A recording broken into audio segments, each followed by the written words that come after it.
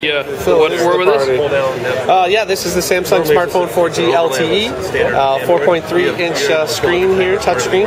Uh, actually has, I can even throw in the little Samsung. And that is the Super you. AMOLED Plus. Yeah, the plus screen, basically 50% uh, increase in the, the sub uh, tones that makes it uh, a little bit more clear, crisper. Uh, the video is going, and you can see The the resolution itself is still traditional 854 by 480, yeah but you have more pixels, sub pixels packed. sub pixels. Yeah, so 50% more sub pixels instead of having the eight, they have the 12. So that's what's giving it the cleaner, crisper, better colors. It showed the Hummingbird one gig processor uh, goes through. Has an 8 megapixel uh, rear facing camera, 1.3 megapixel front facing camera for that video. Uh, has the 720p uh, HD quality video capture. Is there three? Uh, we have, where's James? Oh yeah, we right now we have three here.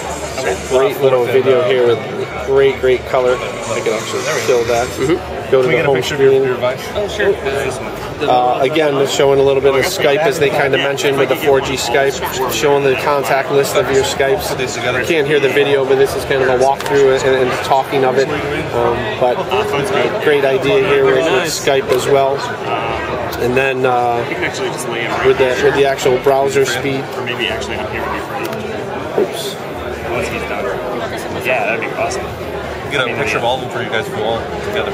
Okay. So yeah, just showing a couple of the different uh, browser speeds uh, going in there, and uh, this is our uh, home network here, talking about our 4G. What's 4G? As you can see, a lot of quality, fastness. Can you show me the rear of the phone? Yeah. So again, another little hump. 8 megapixel camera. Yep. Another microphone there. So. We're get a picture of all four. Does this one have HDMI out? Yep. We are, yeah. And a little door on the side there. Yep. That's the power button there. Charging port. There's your headsets, volume keys, charging. Very cool.